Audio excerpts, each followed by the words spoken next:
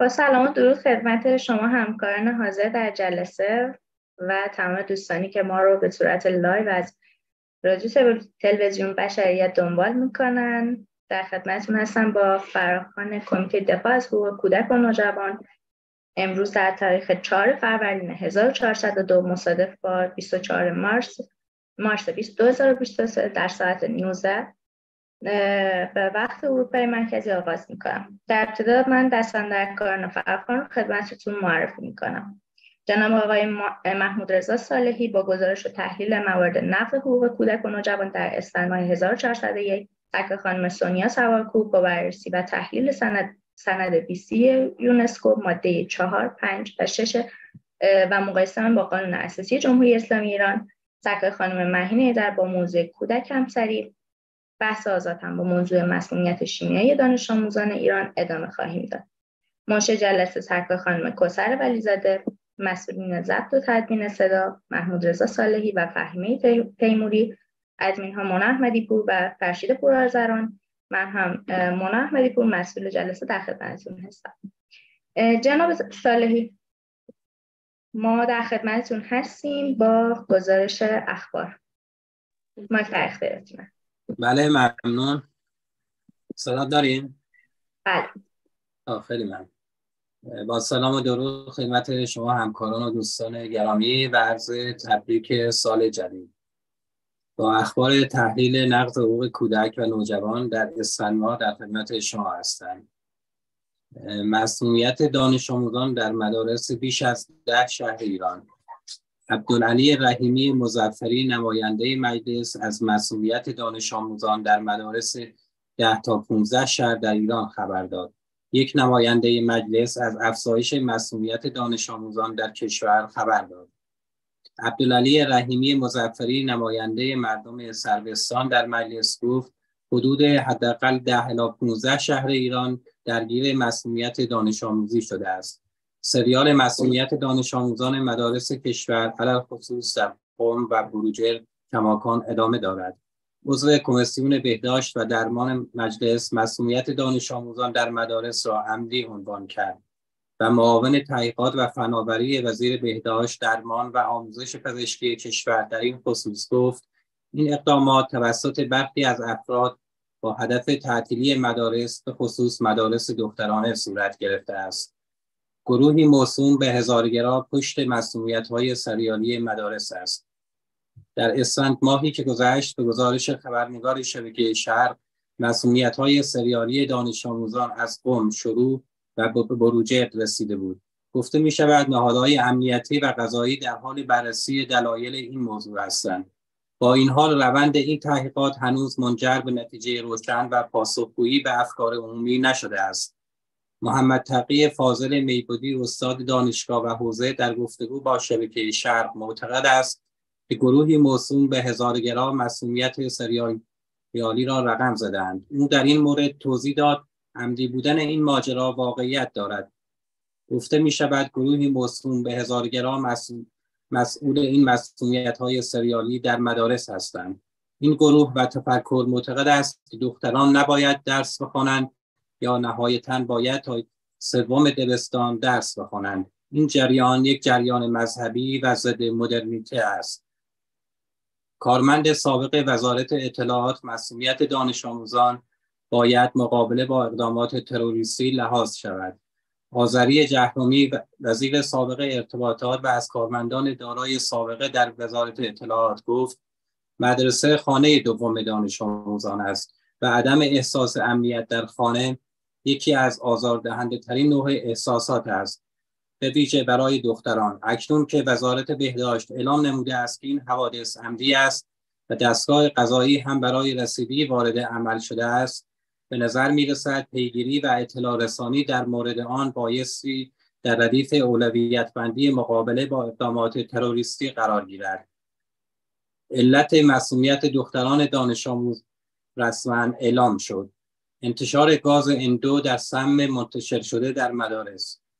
علیرضا منادی سفیدان رئیس کمیسیون آموزش تحقیقات و فناوری مجلس با اشاره به برگزاری نشست مشترک این کمیسیون با وزرای آموزش و پرورش و بهداشت و درمان و نمایندگان وزارت اطلاعات در خصوص مسئله مسئولیت دانش آموزان دختر در قوم، بروجرد و چند شهر دیگر عنوان کرد بر اساس پیگیری های صورت گرفته از جانب نمایندگان و اعزام گروهی از نمایندگان مجلس به قوم و نتیجه آزمایش های انجام شده مشخص شد که گاز اندو در سم منتشر شده در مدارس وجود داشته است.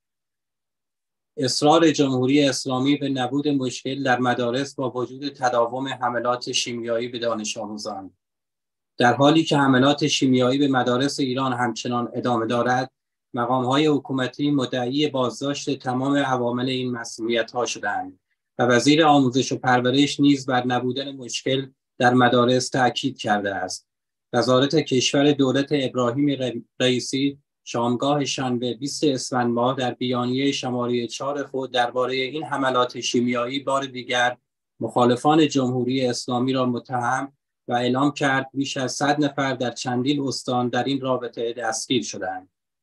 شناسایی 874 هزار کودک بازمانده از تحصیل در کشور قائم مقام وزیر کشور و رئیس ستاد توانمند سازی از شناسایی 874 هزار کودک و نوجوان بازمانده از تحصیل در کشور خبر داد. به گفته قائم مقام وزیر کشور و رئیس ستاد توانمندسازی محلات کمتر برخوردار 874 هزار کودک و نوجوان بازمانده از تحصیل شناسایی شدند. علی آقا محمدی در این خصوص گفت بیشترین جمعیت دانش آموزان بازمانده از تحصیل مربوط به سیستان و بلوچستان و سپس تهران است. وی افزود این جمعیت در 2200 محله کم برخوردار در کشور سکونت دارند. شناسایی 491 کودک کار در خراسان رضوی مدیر کل بهزیستی خراسان رضوی از شناسایی 491 کودک کار در این استان طی سال جاری خبر داد. مدیر کل بهزیستی خراسان رضوی ضمن اعلام این خبر مدعی شد فرهنگ رفتار با این بخش از کودکان باید در بین مردم نهادینه شود. طرح حمایت اجتماعی از کودکان کار و خیابان یک طرح کشوری در راستای سازماندهی کودکان کار و خیابان است که بر فرهنگ سازی جهت نحوه رفتار صحیح با این کودکان در جامعه تاکید دارد. شناسایی 310 کودک کار در خوزستان مدیر کل بهزیستی خوزستان از شناسایی 310 کودک کار در این استان طی سال جاری خبر داد.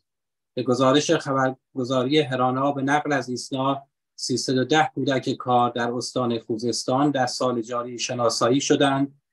مدیر کل بهزیستی خوزستان ضمن اعلام این خبر گفت 45 کودک از کودکان شناسایی شده به دلیل سرپرستی یا بد سرپرستی در مراکز شبانه روزی بهزیستی استان خوزستان نگهداری شده و سایر کودکان از لحاظ مراکز حمایتی آموزشی خدمات رازم را دریافت می کنند. توضیحات فرماندار نیکشهر درباره کشته شدن سه دانش آموز در راه مدرسه فرماندار نیکشهر در جنوب سیستان و بلوچستان گفت خاکی بودن جاده ها نبود سرویس من مناسب مدرسه و استفاده 10067 دانش آموز از موتورسیکلت و وانتبار برای رسیدن به کلاس درس سبب حوادث دلخراش رانندگی شده که نمونهش متاسفانه موجب تصادف سه موتورسیکلت شد و منجر به کشته شدن سه دانش آموز و مجروح شدن یک دانش آموز دیگر شد. با هدف فروش اعضای بدن قتل یک کودک 19 ماهه توسط پدر خود رئیس پلیس آگاهی استان البرز از قتل یک کودک 19 ماهه توسط پدر خود جهت فروش اعضای بدن خبر داد. متهم پس از بازداشت جهت انجام مراحل قانونی به مراجع قضایی معرفی شد. قربانی شدن دختر 13 ساله به خاطر سوء زن برادر. خودکشی پسر هرمزگانی ناکام ماند. دختر نوجوان هرمزگانی به خاطر سوء زن برادر به قتل رسید. پسر 24 ساله پس از ارتکاب جرم سعی کرد که به زندگی خود نیز پایان بدهد اما زنده ماند و راز جنایت فجیعی را فاش کرد. وی در بازجویی ها اعتراف کرد که با انگیزه حیثیتی خواهر کوچکش را به قتل رسانده است. یک نوجوان در پی تیراندازی نیروی انتظامی جان باخت. یک نوجوان در مشهد در پی تعقیب و گریز گشت انتظامی کلانتری 17 این شهر مورد هدف گلوله قرار گرفت و جان خود را از دست داد. این نوجوان به خاطر نداشتن گواهینامه با فرمان ایستپولیس به راه خود با سرعت ادامه می‌دهد. در همین حال یکی از معموران حکومتی گلوله‌ای به شیشه عقب خودرو و شلیک می کند و به سر نوجوانی با هویت محمد قاسمی اصابت می کند و این نوجوان بر اثر اصابت گلوله جان باخت. اقدام به خودکشی دو دختر نوجوان در مشهد. دو دختر 16 ساله در مشهد قصد داشتند با پریدن از بالای پل آبر پیاده دست به خودکشی بزنند که با حضور نیروهای انتظامی و امدادی موفق به این اقدام نشدند. سهم نوجوانان ایرانی از خودکشی های سالانه از سوی سازمان پزشکی قانونی بیش از 7 درصد اعلام شده است. خبرهایی که تا اینجا خوانده شد نقض می کند قانون اساسی را در اصل سه آموزش و پرورش رایگان اصل ده حمایت از خانواده اصل 19 حقوق مساوی مردم اصل 20 حمایت قانونی مردم اصل 22 حمایت از جان مردم رعایت حقوق ذاتی و شهروندی. همچنین نقض می کند اعلامیه جهانی حقوق بشر را در ماده دو برابری انسانها ماده سه هر کس حق زندگی آزادی و امنیت شخصی دارد. ماده 6 ارزش بالای انسانی. ماده 8 رعایت حقوق انسانی توسط قانون. ماده 25 حق خدمات اجتماعی لازم. برای همه. ماده 9 حق مسئولیت نسبت به جامعه. بازداشت دست کم دوازن مدرس زبان کردی طی یک سال توسط نهادهای حکومتی ایران. از دو اسفند 1400 تا دو اسفند 1401 دست کم دوازده مدرس زبان کردی که داوطلبانه اقدام به تدریس زبان مادری به کودکان کرد نموده. اند توسط نهادهای حکومتی جمهوری اسلامی ایران بازداشت شدند. همچنین بیش از 20 مدرس زبان کردی نیز در شهرهای ایلام، کرمانشاه، سنندج، مهاباد، بوکان، بانه، نقده و سقز به نهادهای امنیتی احضار و مورد بازجویی قرار گرفته و فشار این نهادها بر انجمنها و مراکز آموزش به زبان کردی افزایش یافته است. عفو بین الملل کودکان بازداشتی در ایران در معرض شلاق شوک الکتریکی و خشونت جنسی بودند سازمان حقوق بشری عفو بین الملل در گزارشی که منتشر کرد نیروهای اطلاعاتی و امنیتی ایران را به ارتکاب رفتارهای هولناک از جمله شکنجه، ضرب، شلاق، شوک الکتریکی، تجاوز و سایر خشونت‌های جنسی علیه نوجوانان گاه دوازده ساله که در جریان اعتراضات اخیر این کشور بازداشت شدن متهم کرده است. عفو بین الملل می‌گوید که با 19 شاهد عینی از جمله دو وکیل و 17 بازداشتی بزرگسال که با افراد زیر, زیر 18 سال زندانی بودند صحبت کرده است بازداشت یک نوجوان توسط نیروهای امنیتی ریباس تمامی نوجوان 18 ساله اهل بوکان توسط نیروهای امنیتی بازداشت و به یکی از بازداشتگاه های امنیتی ارومیه منتقل شد. نیروهای امنیتی بدون ارائه حکم قضایی وی را بازداشت و جهت بازجویی به یکی از بازداشتگاه های امنیتی ارومیه منتقل کردند. همچنین این نوجوان از دسترسی به وکیل محروم مانده است. این خبرها نقض می کند قانون اساسی را در اصل 22 رعایت حقوق ذاتی و شهروندی اصل 24 حق آزادی قلم و بیان اصل 26 حق آزادی عقیده اصل 27 حق آزادی تجمع و اعتراضات اصل 32 عدم توقیف حبس یا تبعید غیرقانونی اصل 38 منع شکنجه. همچنین نقض می کند اعلامیه جهانی حقوق بشر را در ماده 3 حق حیات برای همه ماده 5 شکنجه ممنوع ماده 6 ارزش انسانی در همه جا ماده 9 عدم توقیف حبس یا تبعید غیرقانونی ماده 18 حق آزادی عقیده ماده 19 حق آزادی بیان ماده 20 حق آزادی تجمع و اعتراضات ماده 28 حق دنیای دنیای زیبا و آزاد برای حمله. ممنون از وقتی که به ما دادید. به من دادید تشکر. خیلی ممنون از شما جان سالی برای اطلاعات و اخباری که در اختیارمون قرار گذاشت دوستان بله. سوالی صحبتی اگر که هست در خدمتتون. خانم محمدی بفرمایید.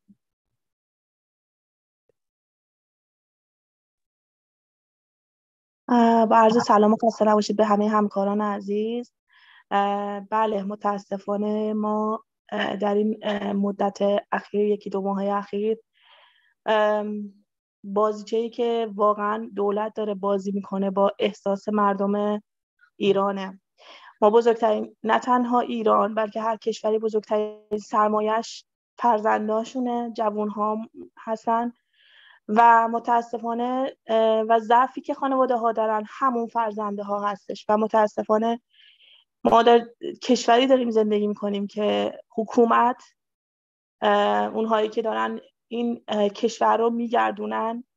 به نوعی دست گذاشتن به نقطه ضعف ایرانی ها نه تنها میگم ایران بلکه هر کشوری جوانهاش براش مهمه. اما متاسفانه در یک موقعیتی هستیم که جوانها واقعا برای دولت مردای ایران متاسفانه هیچ ارزشی نداره.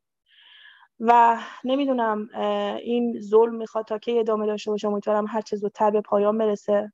و نه تنها الان من یک خبری رو که فکر می‌کنم دیروز نه پریروز بود خوندم که الان جدیدن حتی توی عروسی ها هم این اتفاق داره میفته یعنی جون مردم نه تنها حتی اونهایی که اعتراض می‌کنن غیر اعتراضی ها هم دیگه براشون مهم نیست. فقط منافع خودشون. فقط می‌خوان بمونن به هر قیمتی. و ترسوندن بزرگترین فکر می‌کنم سلاح اوناست که سعی می‌کنن بترسونن. و اما امیدوارم و همونطور که هست البته شجاعت مردم ایران باعث بشه که باز هم با این مشکل بزرگ هم کنار بیان که البته کنار هم میان. و اینکه امیدوارم قوی تر باشن و به نوعی ما ایرانی زیباتر از این که هست داشته باشیم. سپاس از اینکه مایک در اختیار من قرار دادید. ممنون از شما خانم سبکو عزیز دقیقا همینطوره و امیدواریم که زمانی برسه که ایرانی با آرامش داشته باشیم مردم بتونن به راحتی کمترین چیزی که حقشون رو داشته باشن. اگر که صحبتی نیست بریم با موضوع بعدیمون. خانم سوارکوب عزیز با بررسی تحلیل سند بیسی یونسکو. خانم سوارکوب. ماک در اختیارتون سلام. و شب بخیر خدمت همه دوستان. تبریک میگم سال نو شمسی رو. امیدوارم که سال خوبی داشته باشیم. امیدوارم در سال آینده جنبشمون قویتر و محکمتر از سال پیش پیش بره و به هدفمون برسیم امسال. من بررسی که داشتم در مورد سند یونسکو ماده هایی که مربوط به آموزش و پرورش و توانمندسازی زنان و دختران بود. و به جای بررسی تک تک این ماده ها اومدم اینو با سند اصلاحات بنیادی آموزش پرورش ایران که در برابر این سند اینو تنظیم کرد این دوتا رو با هم مقایسه کردم. در ابتدا می‌خوام معرفی کوتاهی از سند بیست یونسکو داشته باشم. در سپتامبر 2015 در اجلاس سطح عالی سازمان ملل رهبران کشورهای عضو متحد شدند که اهداف برنامه جهانی توسعه و پایدار جهانی بیستی نتیجه یک فرایند مشاوره جهانی جامع را سیاست کلان ملی خود از اول ژانویه 2016 اجرا کنند. دستور کار بیستی یونسکو دارای 17 اصل هدف اصلی و 169 هدف خاص و 91 بیانیه مهم است. این سند همچنین به موضوعات مانند فقر گرسنگی خشونت فساد پادشاه صلح عدالت مدیریت پایدار منابع طبیعی ارتقای سلامت تامین آب آشامیدنی توانمندسازی زنان و دختران تنوع فرهنگی حفاظت از گروه های آسیب پذیر دموکراسی توسعه مناطق روستایی توسعه آموزش عمومی و فنی حرفه‌ای ارتقاء تفاهم و ایجاد شغل به اینا بررسی اینا رو بررسی کرد. علاوه بر این به منظور ارزیابی و اجرای تعهدات و حصول اطمینان از, از ایجاد چارچوب های سیاسی و حقوقی قوی که زیربنای دستیابی به اهداف بیستی است تصمیم گرفته شد که کشورهای عضو به طور فعال سیستم آموزشی خود را به منظور بومیسازی اهداف بازنگری کنند سند بیستی موارد زیر را به عنوان تعهدات اصلی کشورهای عضو در نظر گرفتند تلاش سیستم آموزشی برای جذب افراد محروم در, در معرض خطر و به حاشیه رانده شده. حصول اطمینان از رفع نابرابری های جنسیتی در نظام آموزشی به دلیل تعصبات فرهنگی و اجتماعی. تدوین سیاست های مبتنی بر احترام به حقوق زنان و مردان در نظام آموزشی حذف تبعیض و کلیشه های جنسیتی مبتنی بر خشونت در مؤسسات آموزشی توجه, توجه ویژه به هنجارهای جنسیتی غیرقابل قبول در جامعه بین المللی مانند ازدواج کودکان و بارداری زود هنگام اطمینان از بازنگری کتاب درسی و نظارت بر تدریس معلمان برای جلوگیری از ترویج کلیشه های جنسیتی. در مقابل این ایران برای خود سند جداگونه ای رو طراحی و تنظیم کرد که معروف است به سند اصلاحات بنیادی آموزش و پرورش ایران که به اختصار اونا FTDIA می‌خونن. شامل هشت هدف کلان، 14 هدف راهبردی، 30 ارزش، 23 هدف عملیاتی، 119 راهبرد و 49 گزاره اساسی است. شورای عالی انقلاب فرهنگی سال 1390 در فصل پنجم این سند هشت هدف کلان نظام آموزشی ایران تعیین شده است این اهداف عبارت از یک انسانهای مؤمن و خلاق در اخلاق اسلامی. پرسشگر خلاق سالم آزاده قانونمدار صلح طلب میهنپرست جهاناندیش شجاع و مسئولیت پذیر تربیت کنید. ترویج فرهنگ عمومی و زمین سازی برای شکلگیری تمدن اسلامی. تمدن اسلامی ایرانی وفاداری به نظام جمهوری اسلامی ایران و اعتقاد به ولایت فقیه و مردم سالاری دینی. گسترش و تامین عدالت آموزشی همه جانبه. ایجاد یک سیستم مدیریت منابع انسانی موثر و کارآمد. افزایش مشارکت همه جانبه در نظام آموزش رسمی و عمومی. بهبود و تحول در زیرساختهای فیزیکی عالی و فناوری. ارتقای بهرهوری و افزایش کارایی و اثربخشی در نظام آموزش رسمی و عمومی. کسب مقام اول آموزشی در منطقه و جهان اسلام و ارتقای جایگاه آموزشی ایران در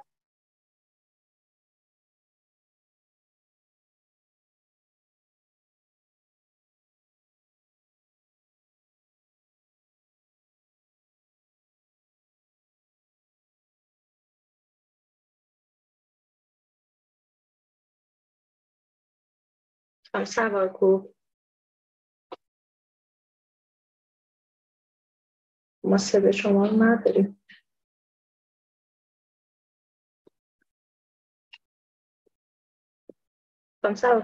شما صدای ما رو دارید؟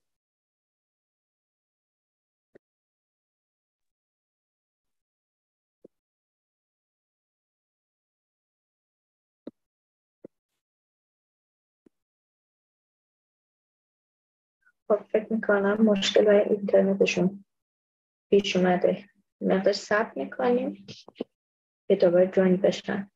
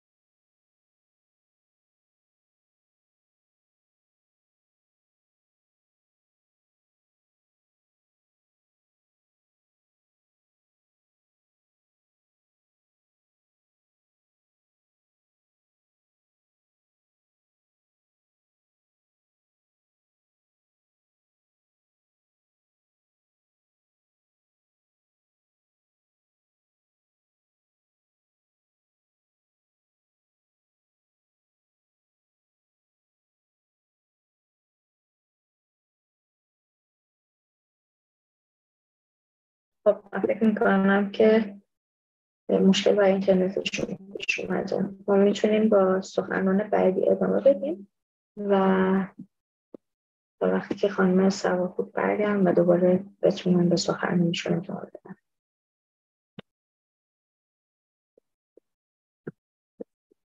خانم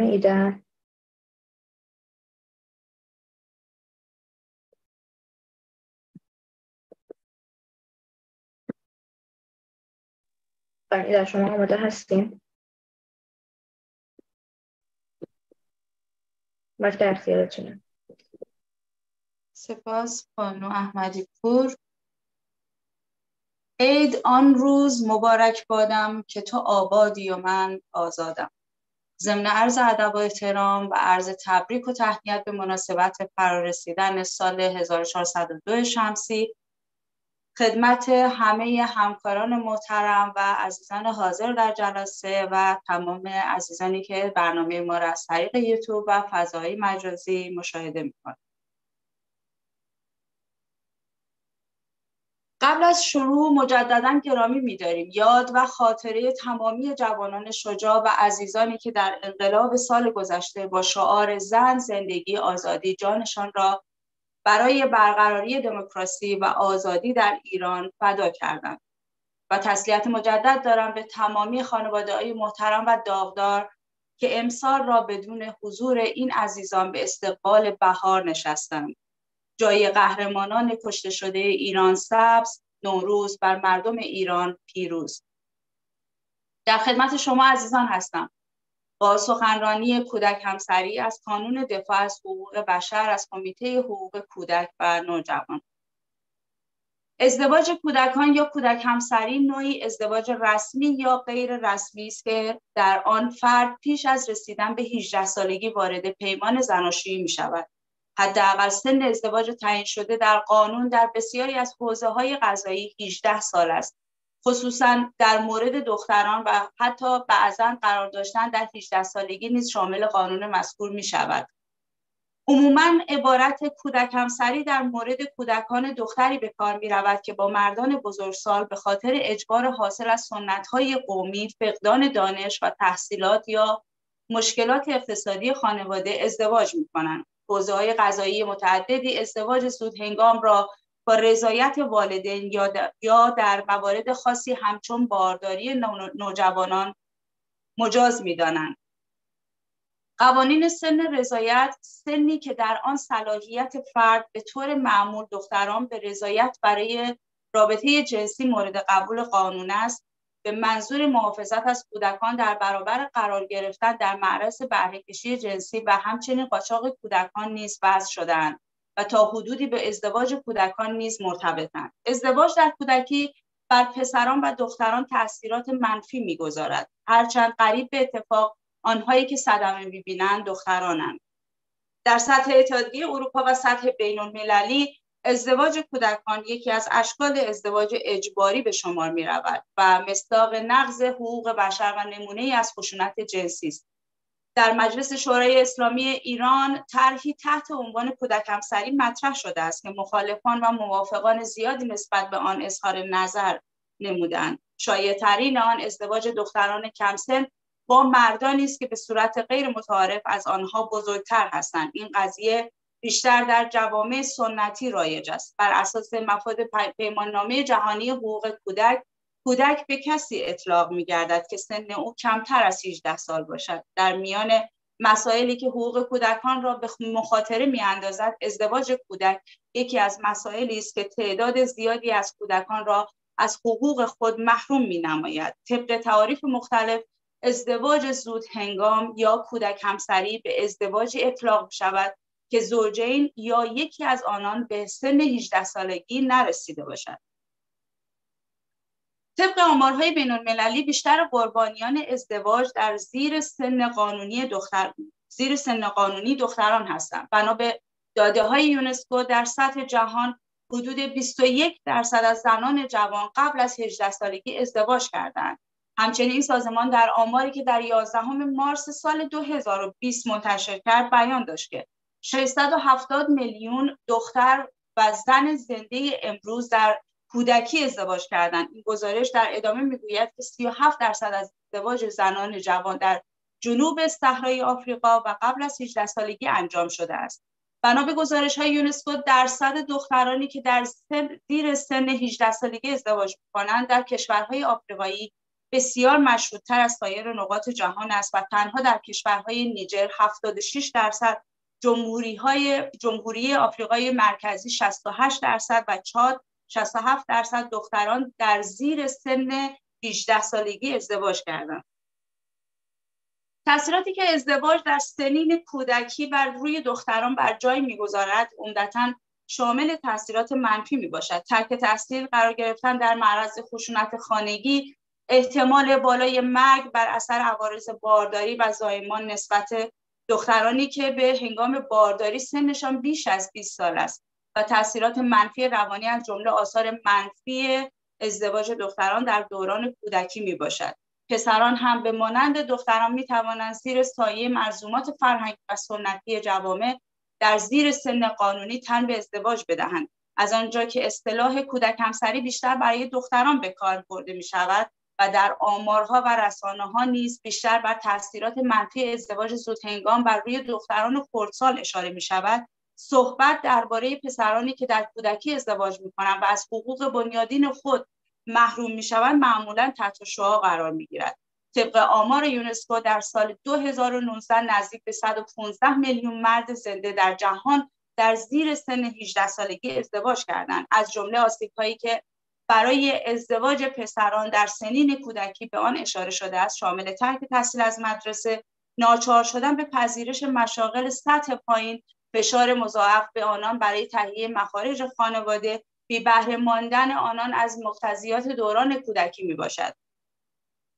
در ایران نیز به مانند دیگر جوامع در حال توسعه پدیده کودک همسری در شکل قابل توجهی در نقاط مختلف کشور شایع است به طوری که طبق آمارهای رسمی ایران در سال 93 بالغ بر 187 هزار ازدواج زیر سن قانونی در سازمان ثبت احوال کشور ثبت شده است بر اساس گفته های معاونت پیشگیری از آسیب های اجتماعی سازمان بهزیستی کشور در سال 1395 17 درصد ازدواج دختران در ایران پیش از رسیدن به سن 18 سالگی می باشد.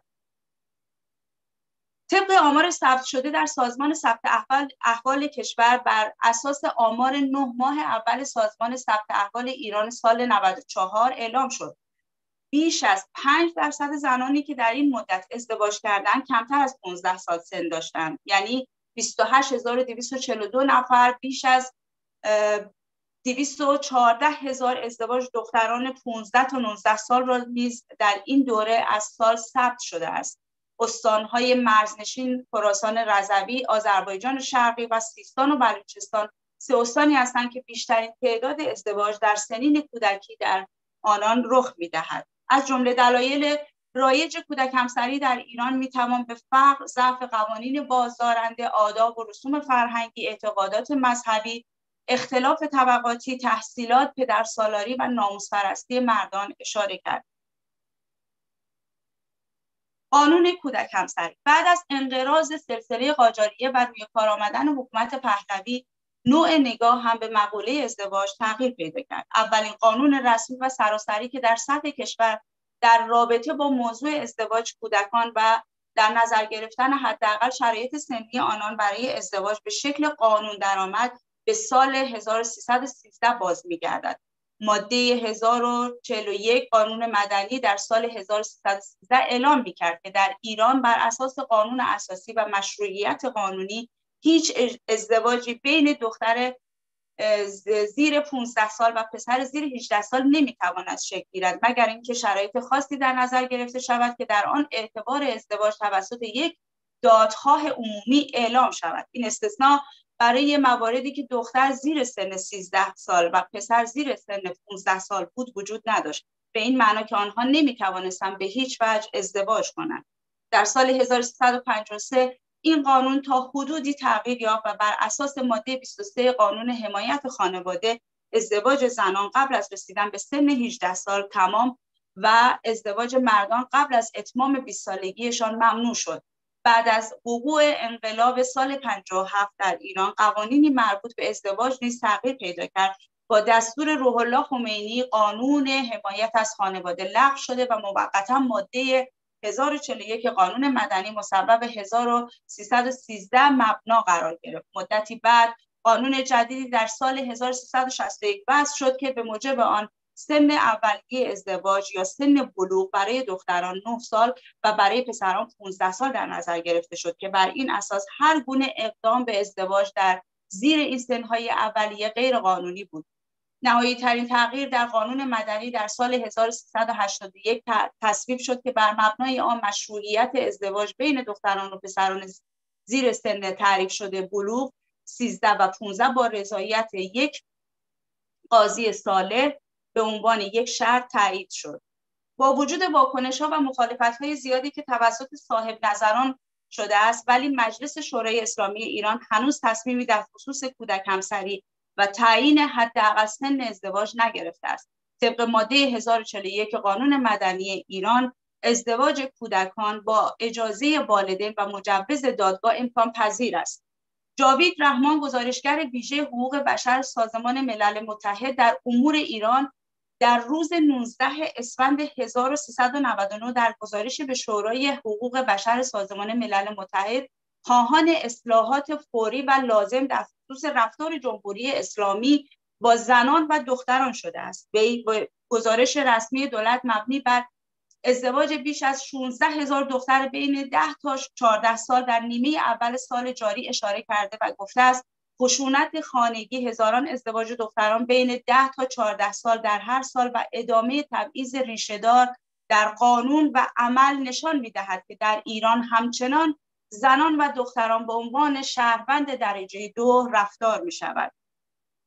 حسن نوروزی سخنگوی وقت کمیسیون قضایی و حقوقی مجلس درباره مخالفت این کمیسیون با افزایش کف سن ازدواج گفت دخترانی که در سن پایین ازدواج می‌کنند کمتر طلاق می‌گیرن و در زایمان کمتر مرگ و میر دارند و زندگی بهتری دارند و این موضوعات در آمارهای مرکز آمار ایران و سازمان ثبت احوال مشهود است وی درباره مواردی همچون ازدواج دختران کم سن و سال در مناطق حاشیه نشین در اثر معاملات مالی.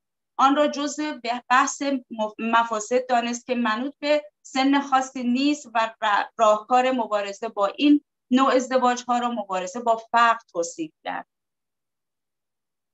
تا پیش از انقلاب در حقوق مدنی این نظریه رایج بود که نکاح امر کاملا شخصی است و ولی نمی‌تواند برای مولی علیه عقد نکاح ببندد. اما با تغییر قانون بر مبنای فقه اسلامی این اجازه به سراحت داده شد و ولی با رعایت مسلحت می تواند برای کودک همسر تعیین کند.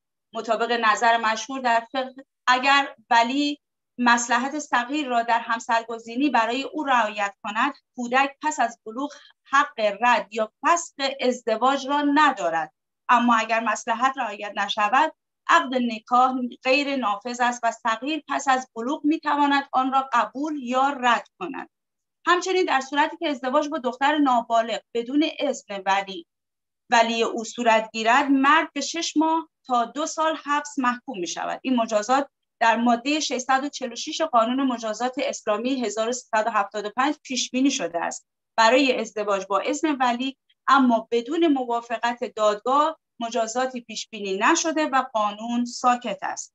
بسیاری از فقها در رساله های خود سیغه یا ازدواج موقت سوری کودک برای شخص دیگر را به عنوان روشی برای محرم شدن پدر یا مادر آن کودک با همسر طفل توصیه می کنند هرچند در صورتی که امکان بهرهگیری جنسی از کودک نباشد در مورد صحت آن تردید وجود دارد.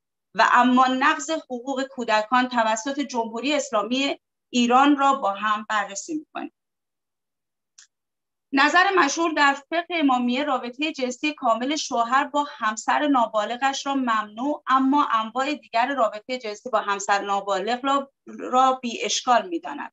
روح الله خمینی در این مورد می نویسد کسی که زوجه کمتر از 9 سال دارد و یعنی نزدیکی کردن او برای وی جایز نیست چه اینکه زوجه دائمی باشد و چه منقطع و اما سایر کامگیری ها از قبیل لمس به شهوت و آغوش گرفتن و تفخیز یا همون لاپایی اشکال ندارد. هرچند شیرخواره باشد و اگر قبل از نه سال او را افضا یکی گردانیدن راه ادرار کانال رحمی یا راه ادرار و مقعد نکرده باشد به غیر از گناه چیزی بر او نیست. در صورتی که منجر به افضاع او شود منجر به ممنوعیت دائمی رابطه جنسی آن دو میگردد و مرد باید دیه کامل قتل یک انسان را به همسرش بدهد. ماده 476 قانون مجازات اسلامی در همین زمینه اعلام کرده که هر جنایتی که باعث از بین رفتن توان مقاربت به طور کامل شود دیه کامل دارد. فقیه نامدار شیعه صاحب جواهر در این رابطه بیان داشته است که ازدواج با دختر نابالغ یعنی زیر نه سال جایز است و هر گونه بهره برداری و استمتاعات جنسی ایم از تقبیل بوسیدن لمس و غیره از به غیر از دخول را جایز دانسته است. فاضل مقداد نیست که از مفسرین قرآن شناخته می شود و به عنوان یکی از فقهای بزرگی که در رابطه با آیات آیات الاحکام مطالبی به رشته تحریر درآورده است. در این رابطه چنین بیان می‌دارد که هر گونه استمتاعات استمتاعات جنسی اهم از بوسیدن و در آغوش رفتن و تفویض قرار دادن آلت تناسلی مردانه بین ران جایز و البته استفاده جنسی به نحو دخول منوط به رسیدن دختر به سن 9 سال یعنی بلوغ است. از میان فقهای معاصر فاضل لنکرانی بر این رأی است که مطابق ادله و اصول ازدواج با دختر نابالغ جایز بوده و هر گونه استمتاع جنسی از ایشان به غیر از دخول صحیح است. و اما دلایل و پیامدهای این موضوع فقر مادی تحصیلات پایین خانواده ها باورهای سنتی و ضعف قوانین از جمله علتهای اجتماعی ازدواجهای زود هنگام است. در بیشتر موارد خانواده داماد به خانواده عروس که اغلب فقیر هستن پولی پرداخت می‌کنن مثلا به صورت شیربها. از پیامدهای ازدواج زود هنگام می توان به افزایش بیسوادی کم سوادی در میان زنان چند زنی پدیده فرار از خانه و همسرکشی اشاره کرد. پروین بختیار نژاد که تحقیق جامعی درباره این پدیده در ایران داشته است آن را معادل فروش دختران خانواده های فقیر و بسیار موزر برای این کودکان می‌داند.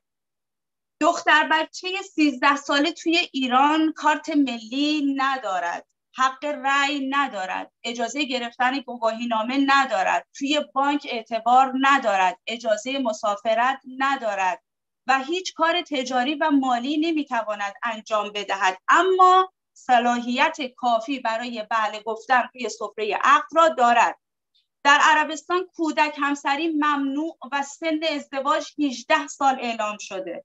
در حالی که در ایران لایحه ممنوعیت ازدواج کودکان زیر 13 سال هم رأی نیاورده. چون قانونگذاران در ایران گفتن با شهر همخوانی ندارد.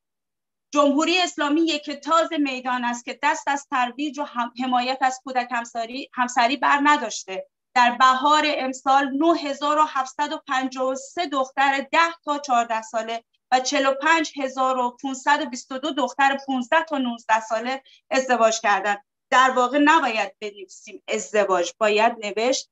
به آنها به طور قانونی تجاوز شد. طیبه سیاوشی نماینده سابق مجلس در مصاحبه با روزنامه همیهن گفت که در ماده 1041 لایحه ارتقای امنیت زنان اعلام شده که ازدواج دختر 11 تا 12 ساله با رضایت پدر به صورت قانونی انجام می شود به یاد داشته باشیم که نخستین کودک هم کودک همسری تاریخ بشریت توسط پیامبر اسلام با آیشه نه ساله صورت گرفت. عربستان سرزمین کعبه و قرآن مهد اسلام سنت محمد را زیر پا گذاشت و ازدواج کودکان زیر 15 سال را به کلی ممنوع کرد و ازدواج زیر 18 سال را فقط منوط به اجازه دادگاه کرد. یعنی الان اگر خود محمد زنده بود مجبور بود برای کودک همسری به ایران پناهنده شود چون در صورت ازدواج با آیشه زندانی می‌شد. واقعا قلب آدم به درد میاد. قلب آدم به درد میاد. به امید روزی که در ایران ایران آزاد و آبادی داشته باشیم دیگه کودک کاری نداشته باشیم کودک همسری نداشته باشیم و کودکانمان کودکی کنند. ممنون از وقتی که در اختیار من قرار دادید ممنون که به من ممنون از شما خانم ایدر عزیز.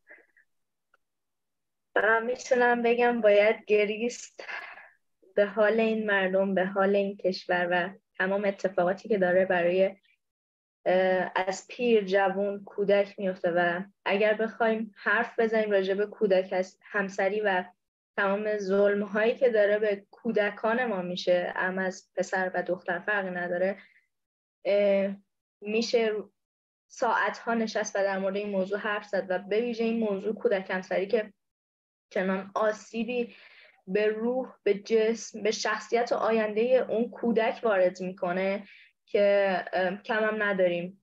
کودکانی که خودکشی کردن و مرگ و ترجیح دادن به اینکه بخوان توی همچین زندگی اجباری باشن. بچه ای که هنوز ذهنش پیش عروسک بازیشه و میذارنش سر سفره عقد و باید بله رو به شخصی بگه که اصلا نمی‌دونه قرار چه اتفاقی بیفته توی اون زندگی. باید چی کار کنه و به طور شرعی هم شرعی و دینی براش همه اینا رو مجاز می‌کنن و یه زندگی سیاه و رسما برای اون بچه واقعا رقم میزن مرسی از سخنرانیتون واقعا هم غمانگیز بود همین که یه ذره بیشتر وجود ما رو روشن کرد برای اتفاقاتی که داره در حال حاضر در ایران و برای بچه های سرزمینمون میفته. مرسی از شما. خانم تیموری عزیز بفرمایید. ممنون از خانم ایده بابت سخنرانی کاملشون. من حالا در کنار آمارایی که خانم ایدر دادن یک آماری رو بدم که برای سال 1401 مرکز آمار ایران این خبر رو منتشر کرده که از بهار تا پاییز 1401 ازدواج 20648 مورد کودک دختر کمتر از 15 سال 1085 مورد ولادت از مادر کمتر از 15 سال و 12 مورد ازدواج کودک پسر کمتر از 15 سال و 5 مورد ولادت از پدران کمتر از 15 سال در کشور به ثبت رسیده که خیلی آمار بالایی هست که تعداد زیادی از این ازدواج های دختران که تو سنین پایین انجام میشه به, به, هم به دلیل فقر اقتصادی و یا به خاطر فرهنگ هایی هست که در جامعه وجود داره. اما به طور کلی ازدواج در سنین پایین عوارض و های منفی داره که خانم ایدر بهش اشاره کردن چون که از نظر آمادگی جسمی و روانی هنوز فرد کودک بوده و آماده این که بتونه وارد مسئولیت بزرگ خانوادگی به عنوان همسر و مادر بشه رو نداره. ممنون از اینکه این وقت رو در اختیارم قرار دادید. مرسی از شما. خانم سواکوب عزیز بفرمایید.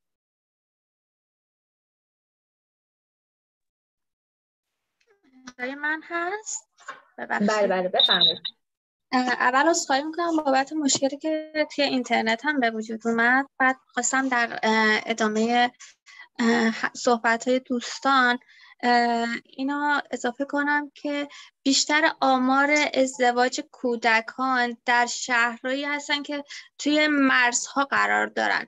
حالا به سبب اون هم از لحاظ اقتصادی پایین تر هستن و خب از قدیم هم گفتن که هر جایی که فقر وارد شه از در از یه در فقر وارد میشه از در دیگه در واقع همه چیز میره نه تنها دین بلکه همه چیز انسانیت هم میره.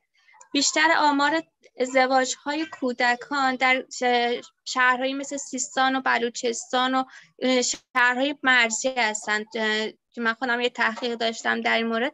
آمار ازدواج کودکان تو اون شهرها خیلی بیشتر بود. و یک کم توجه که می‌کردی هم از لحاظ اقتصادی پایین تر بودن هم از لحاظ سطح فرهنگی.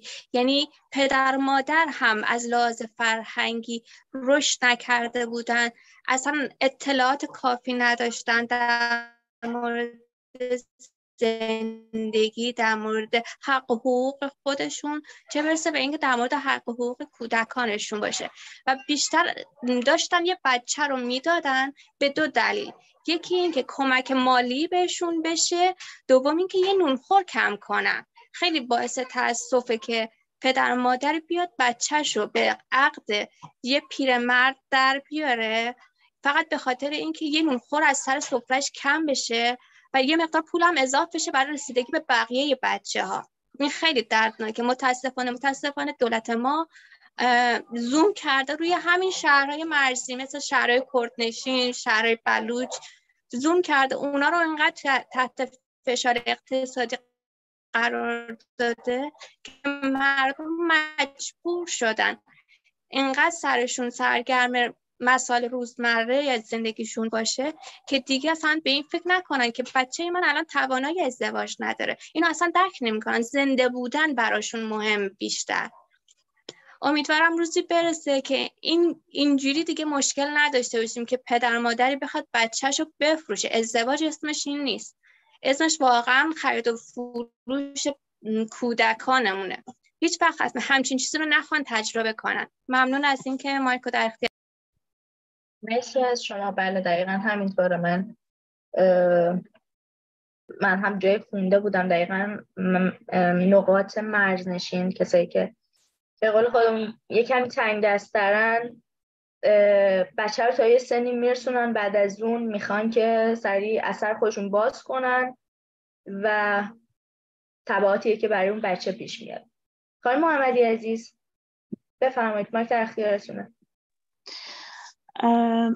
من موضوعی که می‌خواستم بهش اشاره کنم البته موضوعات زیادی هستش اما موضوعی که می‌خواستم بهش اشاره کنم اینه که مشکلات مادی به خودی خودش انقدر فشارهای سنگی به روی خانواده ها می‌ذاره که این خانواده بعضی از این خانواده مجبور میشن به این ازدواج ازدواج های فرزندانه خیلی کوچیکشون تم بدن. اما دولت هم متاسفانه فشارهای همه جانبه می‌ذاره نه تنها مادی که الان بسیار شرایط بده.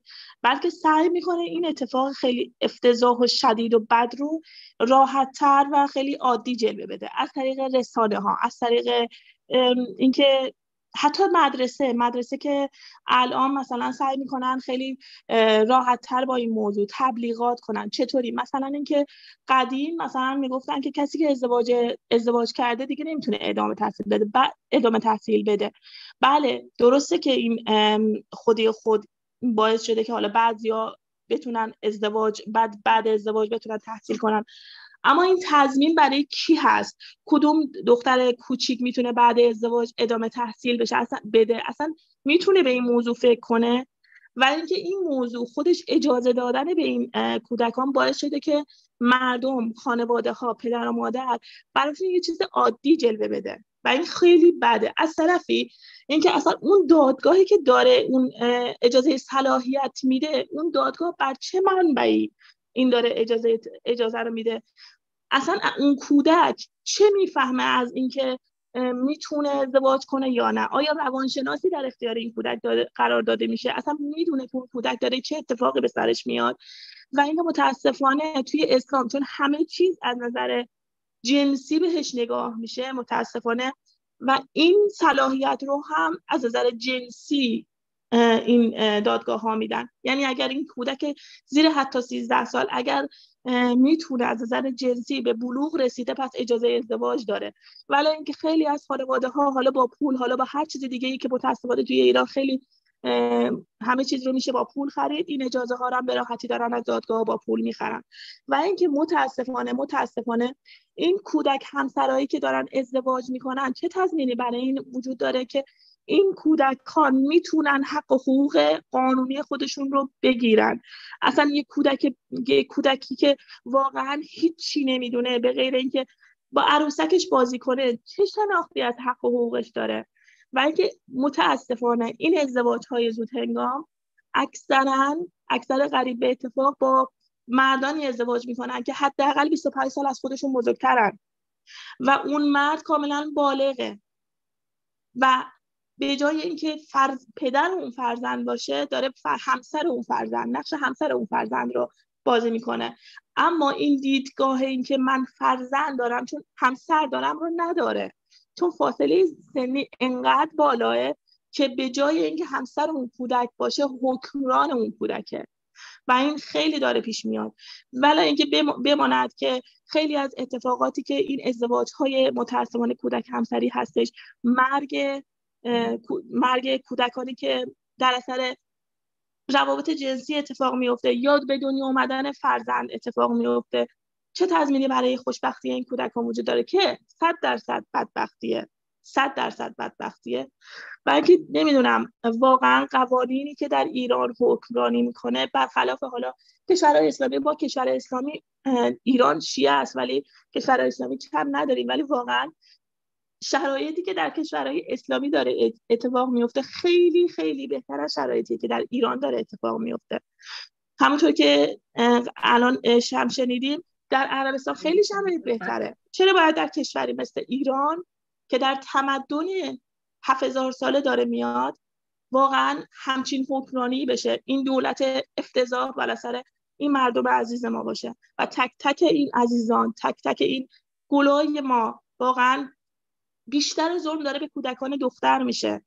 همونطور که الان توی آمارها هم شما گفتین دوست عزیز گفتن بیشتر ازدواج ها در مورد دختران هستش. کمتر دوازده تا سیزده تا انگوش شمار برای پسران هستش.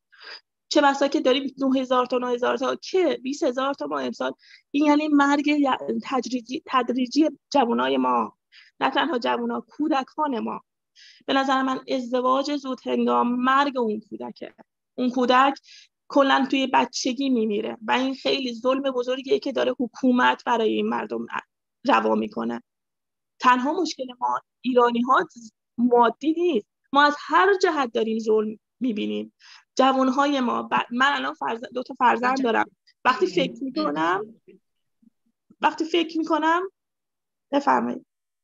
یه جنبدی کنید بعد ادامه میدیم چون آره. که خانم سواکو و باید مثلا فکر می‌کنم به فرزندام دو تا دختر دارم واقعا میگم که چه چه دنیایی داره برای من برام دخترم عزیزه و چه دنیایی داره برای ایران و برای جوانای ایرانی داره اتفاق میفته ممنون که ما در اختیار من قرار دادید.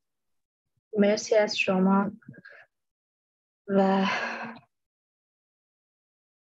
واقعا نمی‌دونم چی باید جنب ماردیزاده عزیز بفرمید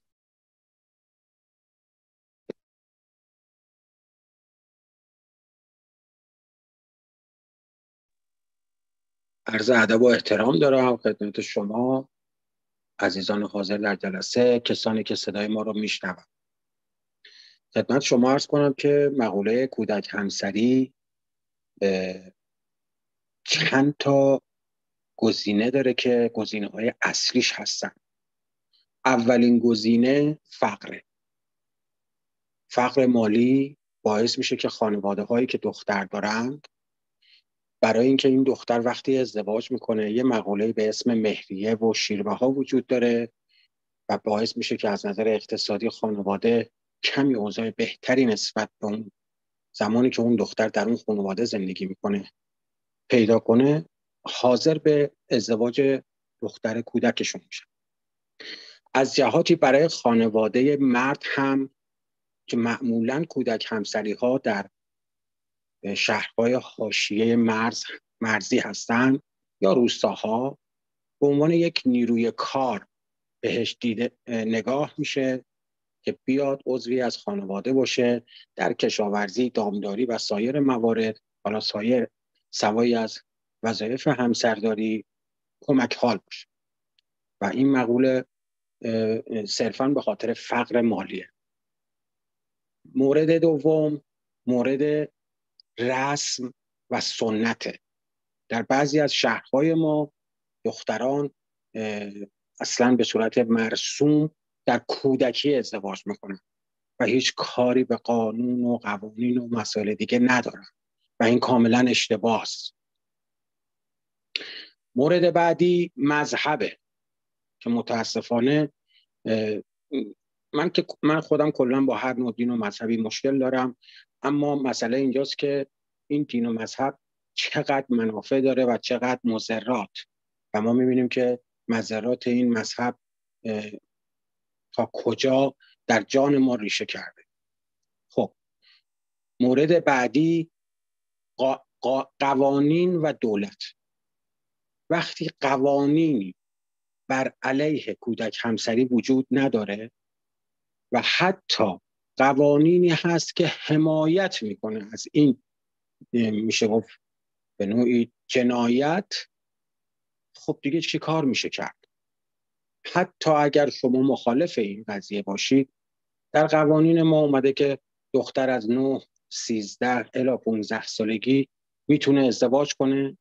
و این دختر حتی اگر پدر هم نداشته باشه قیم اون می‌تونه این اجازه رو از طریق دادگاه بگیره. و متاسفانه من فکر می‌کنم این چهار گزینه گزینه های اصلی هستن که ما کودک همسری رو این پدیده زشت و میشه گفت به نوعی جنایت علیه حقوق کودکان رو در کشورمون داریم. ممنونم که مایک رو در اختیار من داشت ممنون از شما. جناب ماردی زاده فکر می‌کنم شما به صورت تیتبار کل این موضوع رو یه جنبدی کردین و شما ممنون از شما. خانم ایدر عزیز برای موضوعی که انتخاب کردیم تبادل نظر خیلی خوبی داشتیم و اگر که صحبتی سوالی نیست می‌تونیم با سخنرانی خانم سباکوب عزیز ادامه بدیم. خانم سباکوب آماده هستین؟ بله حالا امیدوارم دیگه مشکلی پیش نیاد. من متوجه نشدم که تا کجا صدا می اومد و کجا قطع شد. سعی می‌کنم حالا از اول دوباره یه خلاصه بگم. خب اکثرمون با سنت 20 یونسکو آشنا هستیم. در مورد اهدافش تا حدودی خب آشنایی داریم که بزرگترین اهدافش از بین بردن فقر و گرسنگی و خشونت و فساد و بالا بردن سطح فرهنگ کل دنیا و دموکراسی و حفاظت از گروه های آسیب پذیر بود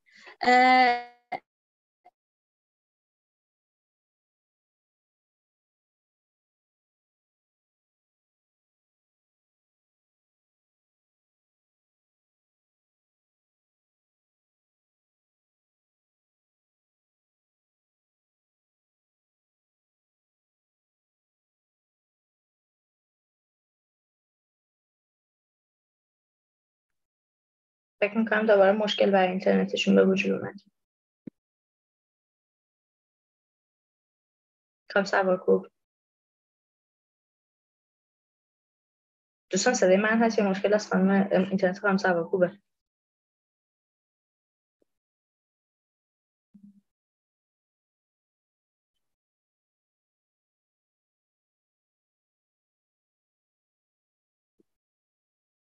بسیار خب پس یه جلسه ثبت می‌کنیم. اگه که نتونستن جوین بشن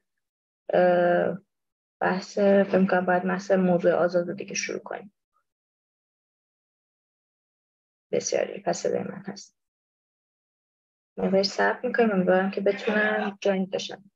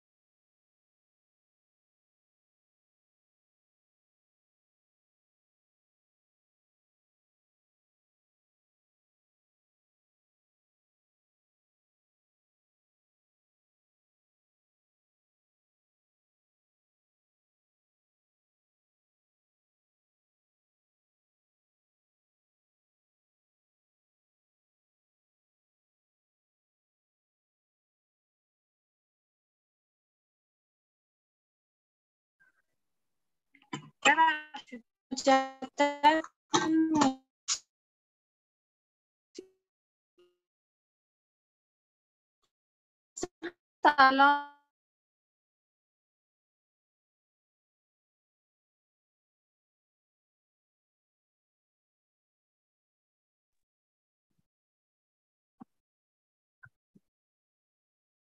کام سوار کو آف ببخشید من فکر صدای من بسته بود. هم سوار کوب فکر می‌کنم اینترنتتون به اون شکل نیست بتونین سخنرانیتون رو ادامه بدین بسیاری پس ما بحث آزادمون رو شروع می‌کنیم چون خیلی وقتم نداریم خب بحث امروز رو با موضوع مسئولیت شیمیایی دانش آموزان ایران ادامه میدیم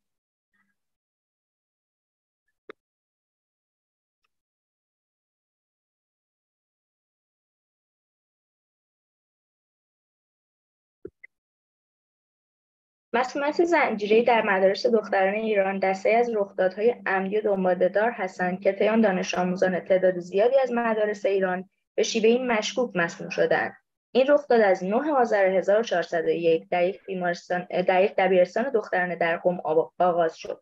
از آن زمان صدها دانش آموز در 60 مدرسه قم که عمدتا مدارس متوسطه اول و دوم دخترانه بودند مسموم شدند.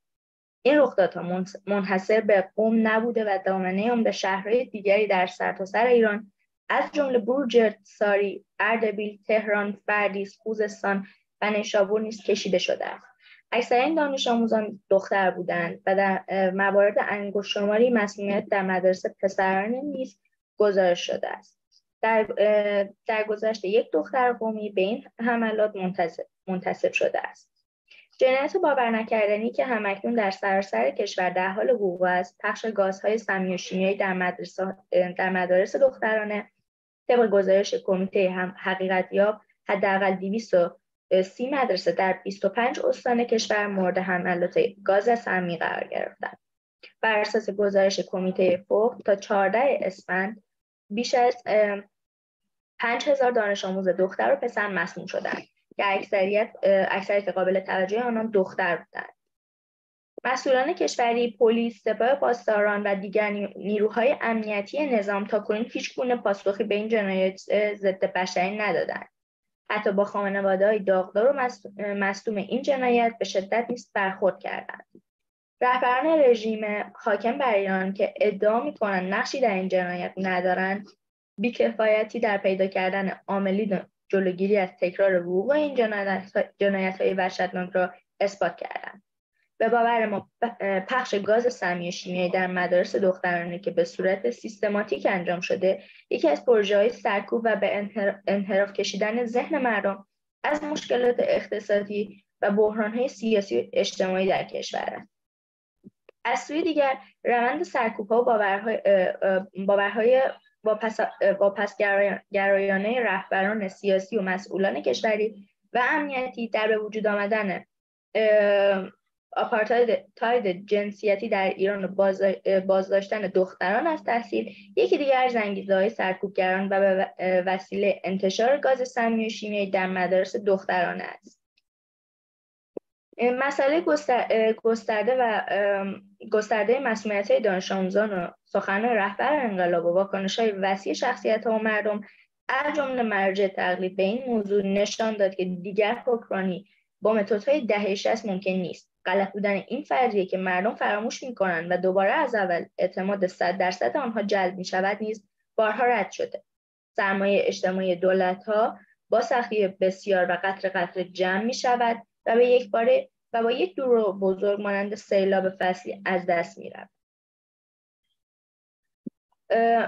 این تکس کوتاهی بود و می‌خوام اول این موضوع رو با این, با این سوال شروع کنم که این, این اتفاقی که داره به صورت گسترده برای دانش آموزان اتفاق میفته و به ویژه بیشتر برای دانش آموزان دختر هست آیا از طرف جمهوری اسلامیه به چه دلایلی و اینکه با چه انگیزه ای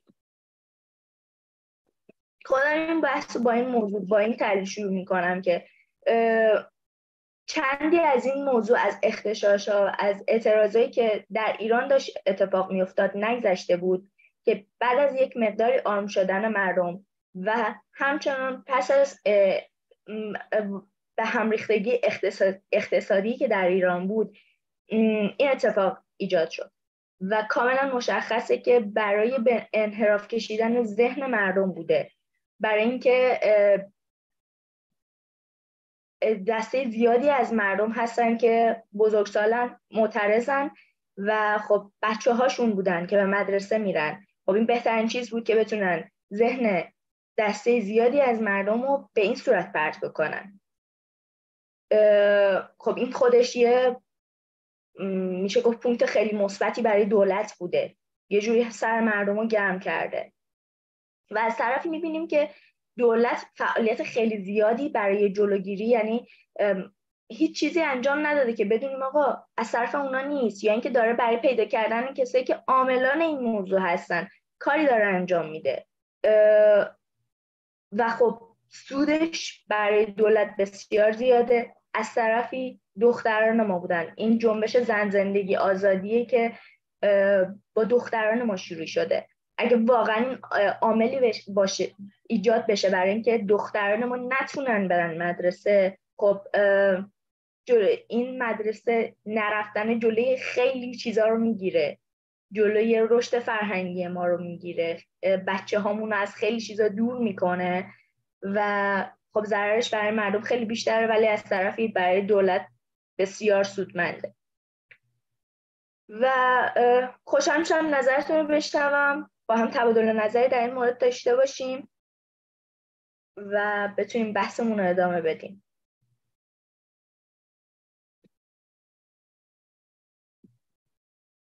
دوستان صحبتی نیست؟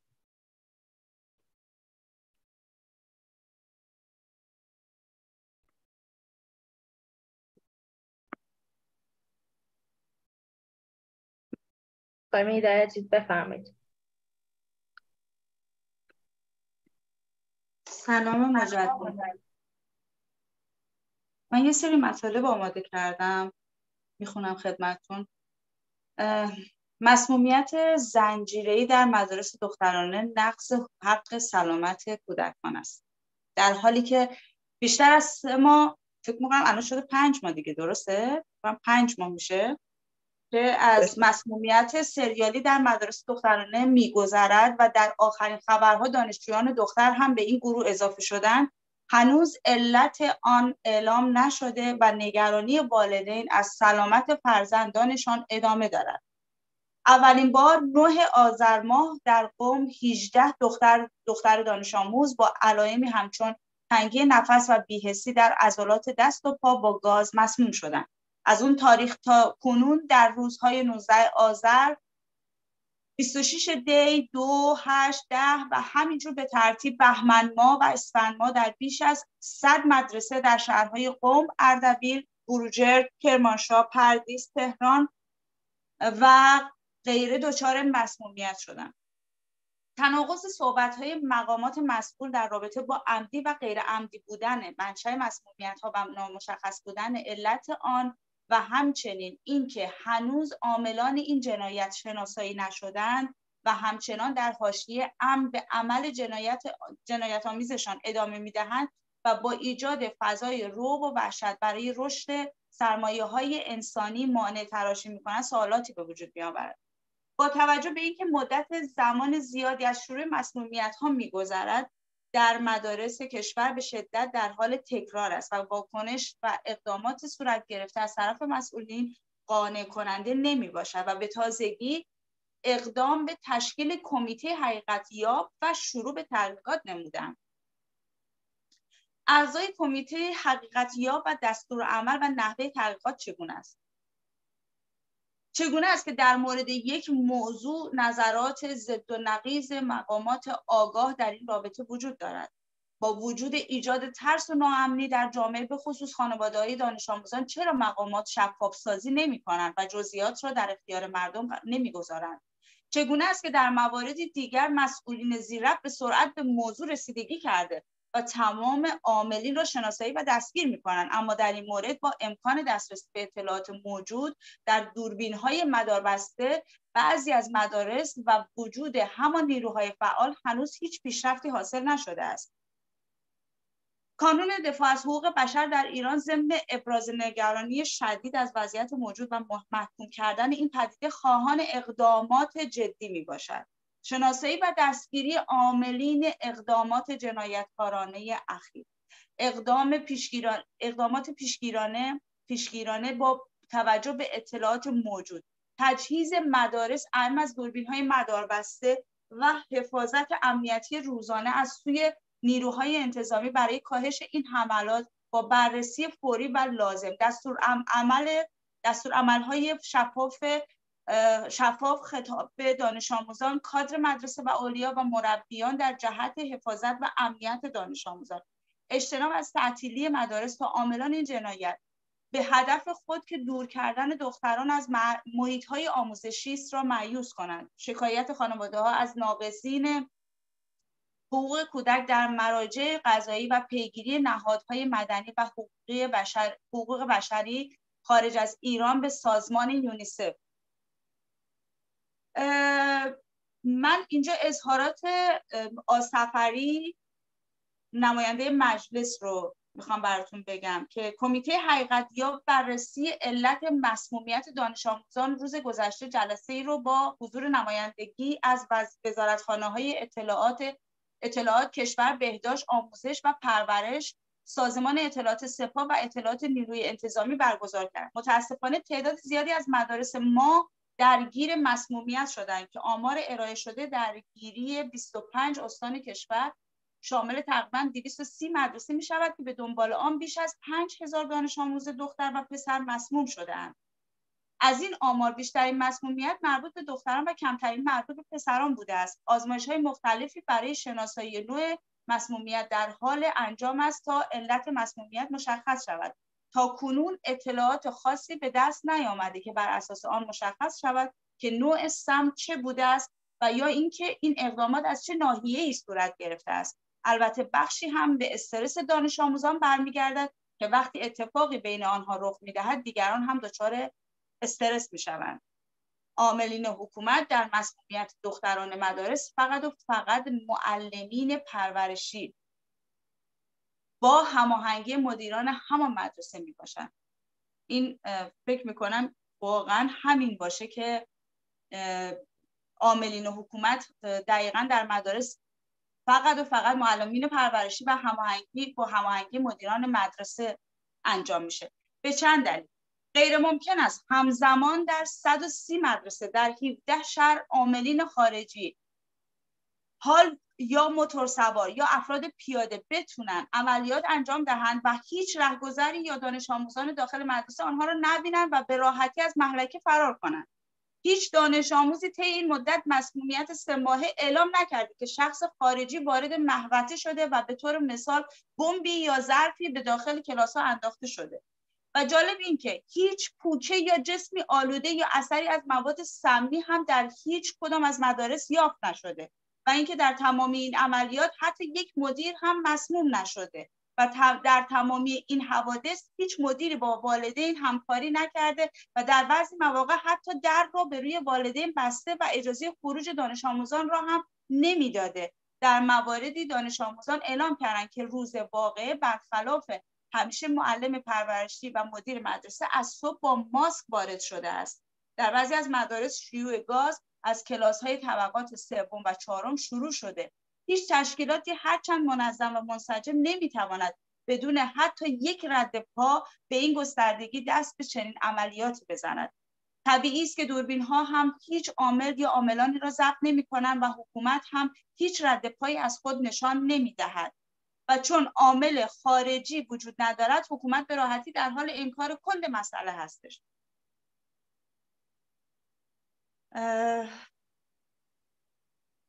واقعا متاسف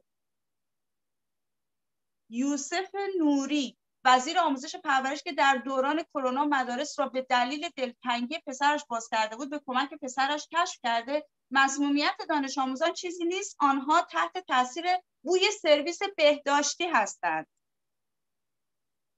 ایشان همون وزیری است که حضورش در راهپیمایی اربعین را از سوابق اجرایی خود می‌داند.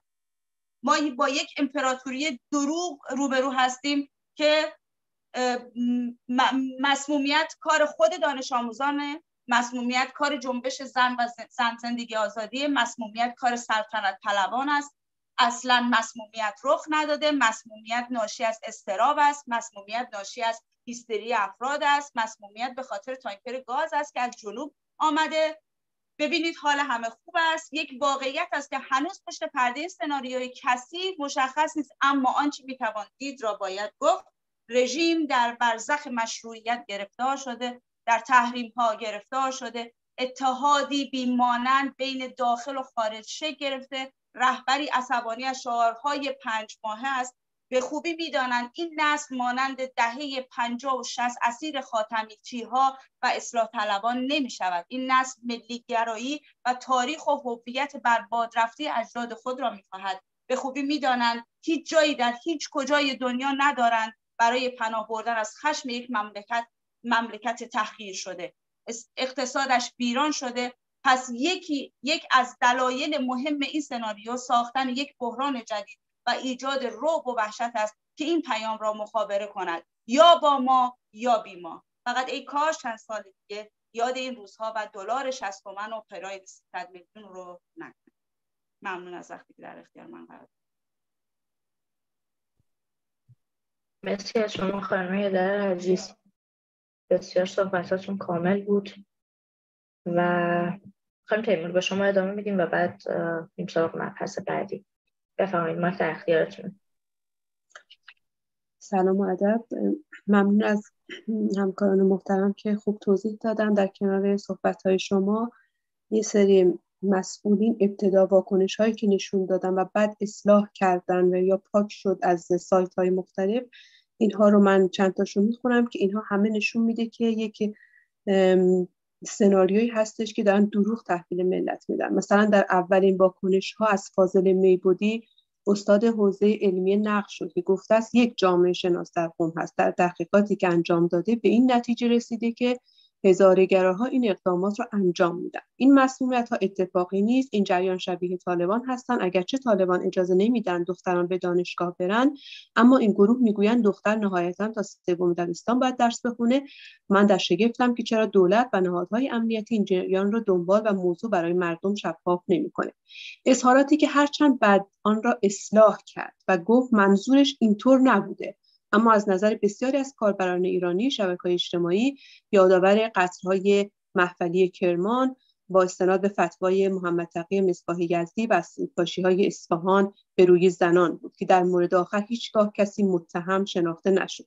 یا یونس پناهی معاون تحقیقات و فناوری وزیر بهداشت هم ابتدا گفته بود مسمومیت دانش آموزان قوم عمدی بود. چون افرادی دوست داشتن تمام مدارس دختران تعطیل شود.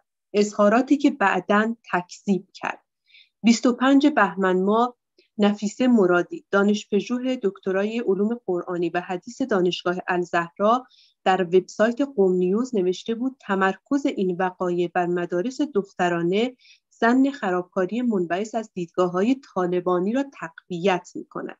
این نوشته هم از وبسایت قوم نیوز پاک شد. اظهاراتی که حذف و تکذیب و اصلاح آنها نشان از حساسیت دستگاه های اطلاعاتی بر این موضوع داره. در کنار سوء زن به افراطیون مذهبی شماری هم اعتقاد دارند که جنبش زن زندگی آزادی زن زندگی آزادی و جوشش اون از درون جامعه دانشجویی دانش آموزی و استادگی دختران نوجوان در مدارس باعث این برخورد با اونها شده است. اشاره منتقدان حکومت به اظهارات علی خامنه ای رهبر جمهوری اسلامی ایران این است که درباره شیوه برخورد با مخالفان در اعتراضهای اخیر گفته بود برخی جوانان و نوجوانانی که برخی جوانان و نوجوانانی هستند که بر اثر هیجان ناشی از ملاحظه یک برنامه اینترنتی به خیابان میآیند. چون این افرادی را می‌توان با یک تنبیه متوجه کرد که اشتباه می‌کنند. در مقابل هم مسئولان جمهوری اسلامی ایران بعد از چند هفته سکوت و با وجود دسترسی به منابع اطلاعاتی و دوربین های مداربسته مدارس و اشراف اطلاعاتی که به آن میبالند از احتمال دست داشتن دشمنان خارجی در این اتفاقات سخن می‌گویند که به ها به دنبال تعطیل کردن مدرسه ها هستند. و همه اینها رو که در کنار هم قرار بدیم نشون میده که به نظر من خودشون دستن در کار هستن که این دروغ ها رو تحویل جامعه میدن. من نظرم این هستش حالا نظر دوستان رو هم میشنویم. بله ممنون شما خانم تیموری عزیز. دقیقا همینطوره و جالبی اینجاست که جمهوری اسلامی ادعا می‌کنه که دنبال خرابکاری این اتفاقی که در میزان گسترده داره اتفاق میفته دنبال پیدا کردن اوناست پیگیری داره می‌کنه. ولی از اون طرف آزمایش هایی که داره روی بچه هایی که مسلوم شدن انجام میشه رو به صورت محرمانه قرار داده و حالا اطلاعاتی یا چیزایی میشه گفت درس کرده از پزشکای پزشکایی که مطلع شدن از روی آزمایش هایی که از بچه ها داشتن حالا من یه مطلب کوتاهی بخونم از اینکه این گازهای سمی چی هست و چه ضررهایی می‌تونه داشته باشه.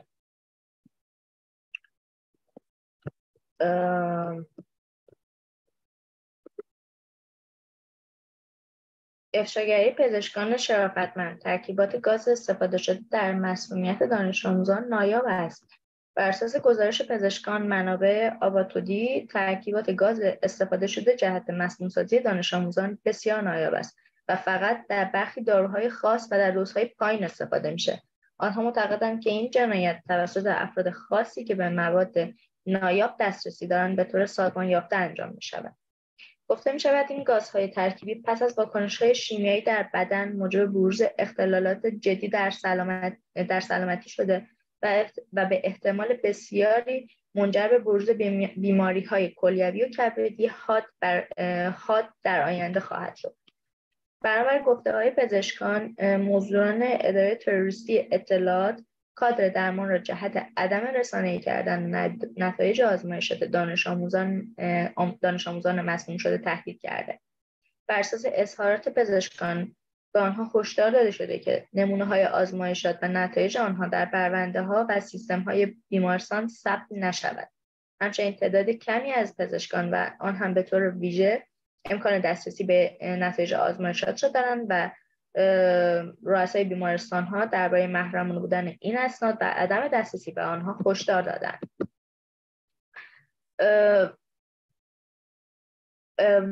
اتفاقاتی که داره در ایران میفته به شکلی بسیار پیچیده است و متاسفانه سازمان هایی که داریم اداراتی که داریم به جای اینکه همراه مردم باشن به جای اینکه حامی مردم باشن همه دارن از همدیگه حمایت می‌کنن و دارن یک جنایت عظیم رو در ایران شکل میدن که گزندش فقط به بچه بزرگسال نمیشه. یعنی همه سنین همه اخشار معمولی جامعه رو داره در, در بر می‌گیره.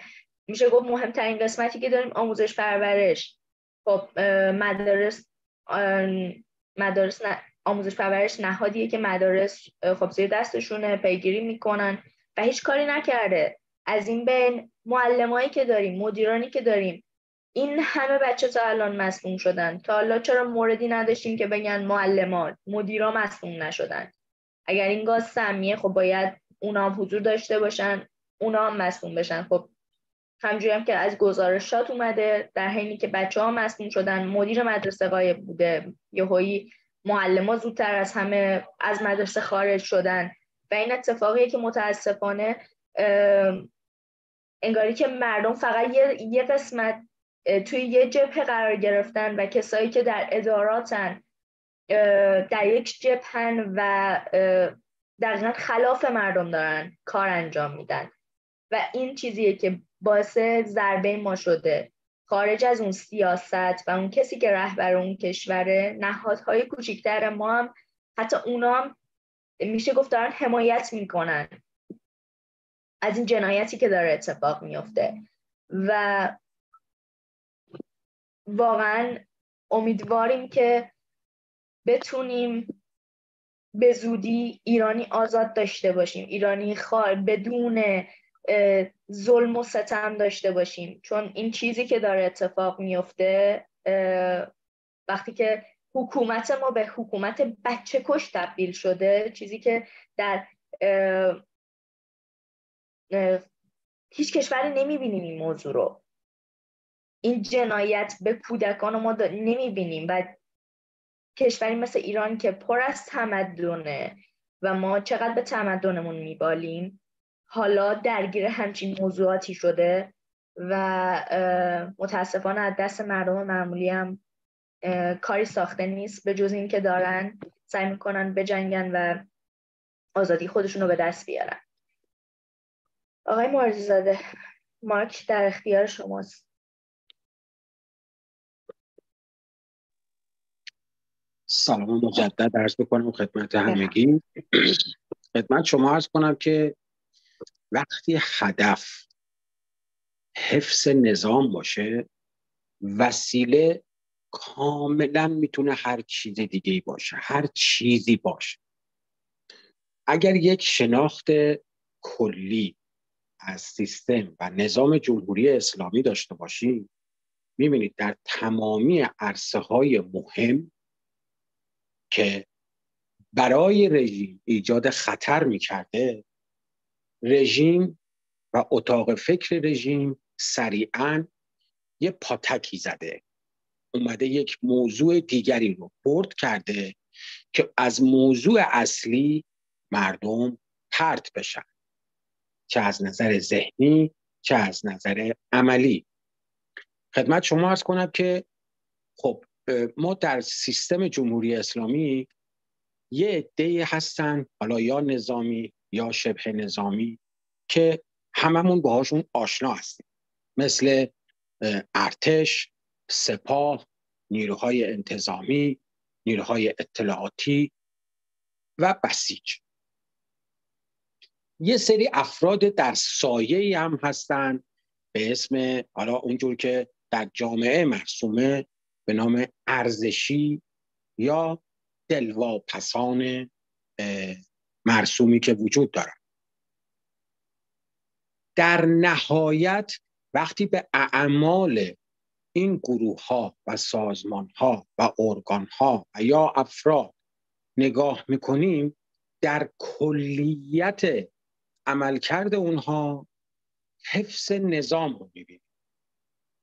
تنها موضوع موضوع بحث دانش آموزان و موضوع جدید و مسائل شیمیایی که در مدارس هست نیست. شما نگاه کنید مثلا در مقوله حجاب اجباری. در مترو در خیابان در اتوبوس در پارک ها و سایر محلهای و مکان های عمومی افرادی میان با شما مخالفت می‌کنن از شما فیلم می‌گیرن. و خب این افراد معمولا هیچ نسبت حقوقی هم با رژیم ندارن.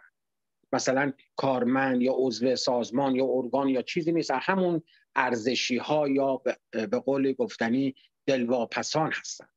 خب چرا یک نفر می‌تونه به حریم شخصی شما تجاوز کنه و هیچ پیگرد قانونی نداشته باشه و حتی اگر اون تجاوزی که به حریم شما شده شما واکنشی نشون بدید و عکس عملی نشون بدید باعث محکومیت شما خواهد شد. وقتی به این موضوعات اینا رو اگر دونه دونه به شکل یک پازل کنار هم قرار بدیم به مورد دانش آموزان هم پی خواهیم. حتی اگر ارتش سپاه نیروهای اطلاعاتی بسیج و این نیروهایی که به طور رسمی برای رژیم کار می‌کنن. این موضوع رو به عهده نگیرن. در نهایت به نفع رژیم داره این اعمال انجام میشه. چرا باید رژیم جلوش رو بگیره؟ چرا باید بیاد بگه که آره ما دستگیر کردیم افرادی بودن مثلا آقای مرادی زاده بوده که مثلا آقای مرادی زاده حالا این آقای مرادی زاده کی هست؟ وقتی میری شجره نامچه آقای مرادی زاده رو ورق می‌زنی؟ می‌بینی یه ده 15 سال عضو بسیج بوده یه 7 8 سالم نمی‌دونم تو سازمان ها و ارگان های دیگه همینجوری دنبال یه کاسه میگشته که یه لیسی بزنه و امروز هم شده دلواپس سیستم. و خب چرا باید بیاد منو معرفی کنه؟ میگن عوامل خارجی. یکی از دوستانمون توی همین بحث آزادمون داشتن می‌گفتن آخه چطور ممکنه؟ چقدر عوامل خارجی وجود دارن که در این وسعت می‌تونن این عملیات رو انجام بدن و شناسایی نشن؟ شما یه پست این استاگرامی می‌ذارید یه استوری تو این استاگرام می‌ذارید بر علیه سیستم. 24 ساعت نمیگذره شما رو حالا به نوع آمیانه ای که خودشون میگن و ورد زبون مردم هست شما رو تو گونی می‌کنن می‌برن. داستان چیه که ما این همه مصدوم مسموم و این همه مدارس ما مورد تهاجم قرار گرفته اما هیچ کس حتی مزنون هم وجود نداره. وقتی که این انقلاب مردمی ایران که به نام زن زندگی آزادی شکل گرفت تمام نوجوانان و جوانان و بزرگان ما تو خیابون اومدن و بر علیه رژیم رای بر علیه رژیم تظاهرات کردن و همچنان هم این آتش زیر خاکستر وجود داره و در بعضی از شهرها همچنان شعله وره خب برای اینکه نظر مردم و فکر مردم رو پرت کنن میان یه موضوع جدیدی طرح اتاق فکر رژیم بسیار قویه. بسیار قویه. ما نباید حواسمون پرت بشه. در نتیجه. لطفا در نتیجه هیچ کس توانایی این اعمال مجرمانه رو نداره مگر اینکه زیر نظر رژیم باشه. در غیر این صورت شدنی نیست. ممنونم که مایک رو در اختیار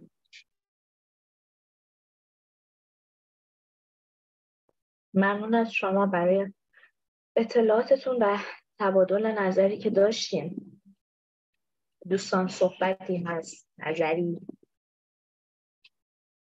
اگر که هست ما در خدمتتونیم. اگر که نیست یک جنبندی داشته باشیم به موضوع بحث آزادمون. و بسیار.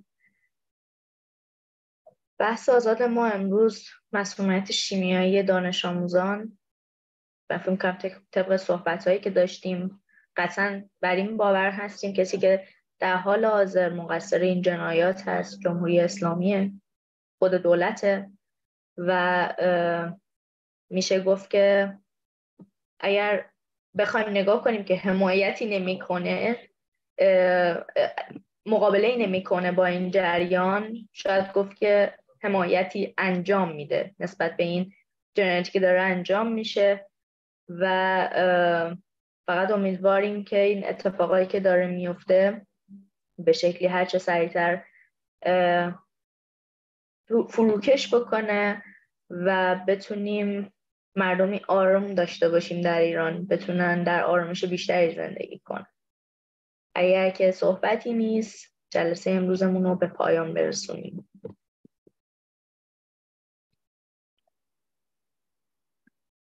بسیار عالی.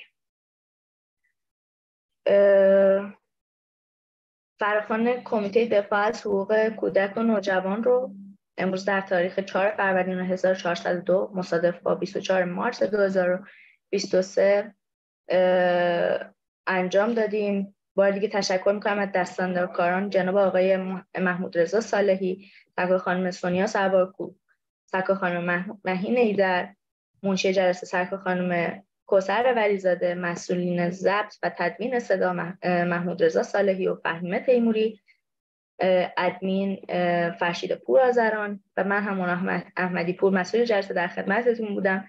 مرسی از شما همکاران عزیز مرسی از همه عزیزانی که به صورت لایو ما رو همراهی کردن و جلسه کمیته کودک دفاع از حقوق کودک و نوجوان رو در ساعت 20 و 50